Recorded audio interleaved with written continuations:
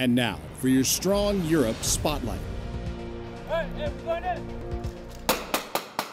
When 2nd Cavalry Regiment trains in Drawsko Pomorskie, Poland, you can be certain Training Support Activity Europe, or TSAE, was there first.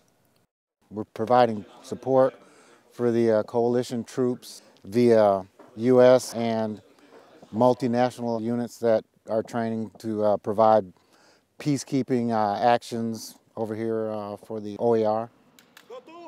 All over Europe, TSAE is helping identify, support, and manage tank ranges, infantry ranges. We set up many MOUT sites and various uh, other training aids devices so that we can get proper uh, training for these uh, troops.